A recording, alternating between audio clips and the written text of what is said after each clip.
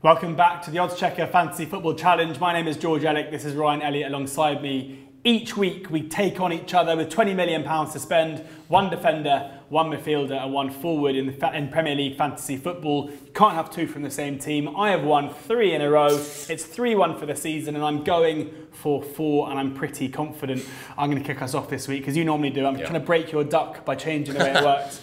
Um, first up for me in defence is the guy that basically everyone has to have in their team in Benjamin Mendy. Uh, Manchester City host Fulham. I think Fulham, the way they play, should mean there'll be a lot of space on the flanks for Manchester City to exploit. He's absolute class, clean sheet, looks like probably a bit of a banker, and also you know he's an assist machine. So Benjamin Mendy is my defender.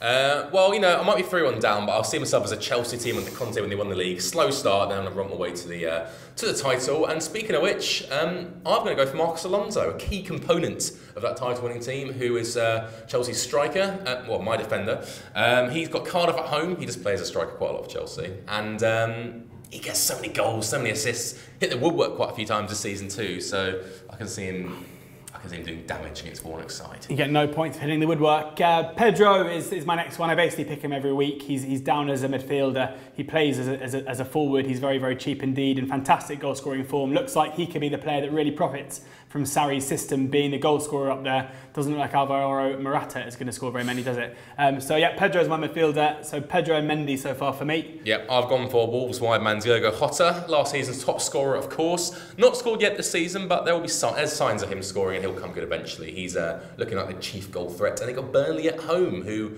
look awful at the back. And if it wasn't for Joe Hart, they'd have conceded much, much, many more goals we're picking the same matches here, so we're kind of stealing each other's reasoning. Yeah, I've gone for uh, Jimenez, the, the striker for Wolves. Obviously, got off the mark early on this season. Looks like a real handful. Uh, Wolves have had a difficult uh, campaign so far in terms of fixtures, but this one does look like a home banker for me uh, in the early kickoff on Sunday. I'll be backing Wolves to win it, and I think that Jimenez is great value as a striker.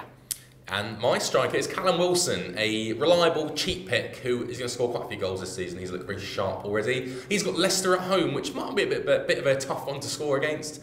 But if Bournemouth do score, it'll probably be Wilson, and I'm backing him to do so for me. There you have it. Uh, tune in next week so you can see it when it's 4-1 to me and I'll be trying to make it 5. But you can subscribe to our YouTube channel right away where you can see all of our fantasy football tips, all of our betting tips and all of our content there before anywhere else.